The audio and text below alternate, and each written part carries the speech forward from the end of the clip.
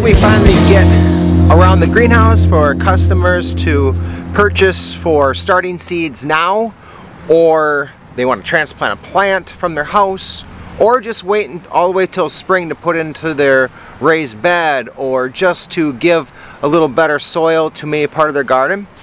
We have CB mix right here. You can see that bag is rather large. We have a proven winner all-purpose potting soil.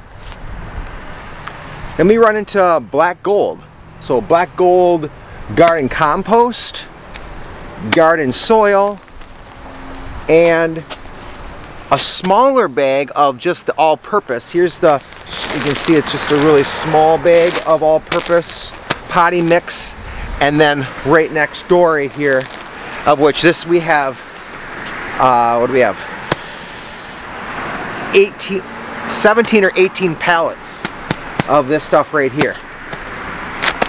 Um, so it ended up being 18 for about 26, 27 total pallets of our different soil mixes that a customer can purchase.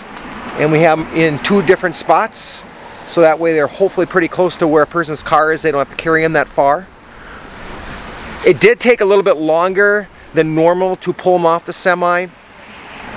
If you ever look at a pallet, there's a spot where the wood is taken out so that a pallet jack can easily get underneath and then if you go 90 degrees around the pallet there you got to have a really thin part to get underneath the jack.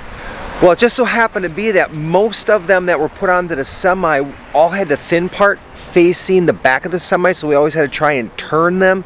So that did take a little more effort than normal um, to get the pallets off the semi but they're all off they're all around the building and this is great this warm weather like this, anybody can grab what they want for the soil and use it.